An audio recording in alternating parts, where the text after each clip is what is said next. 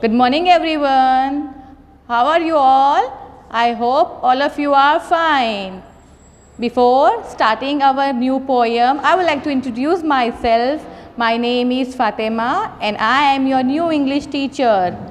Welcome to our class 6th. Our first poem is Rain in Summer, which is written by H.W. Longfellow. आज हम poem के बारे में बात करेंगे पहले पोएम स्टार्ट करने से पहले I would like to tell about what is about poem rain in summer rain क्या आपको पता है ना? रेन में रेन आप सबको अच्छा लगता होगा। बारिश में घूमना, मस्ती करना, बारिश में भीगना।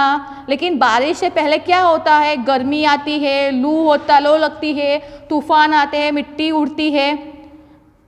Now I hope you have understood okay, what is about our poem is talk, uh, the poet is talking about poem.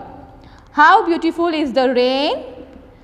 Rain कितनी खूबसूरत होती है After the dust and the heat जब धूल और मिट्टी उड़ती है उसके बाद कितना वो हो जाता है in the broad and fiery street एकदम भी व्यापक और एकदम जब तूफ़ान आते हैं जब पेड़ गिरते हैं, उसके बाद इन द नैरो लेन पतली गलियों में how beautiful is the rain rain कितनी ब्यूटीफुल होती है, कितनी प्यारी होती है।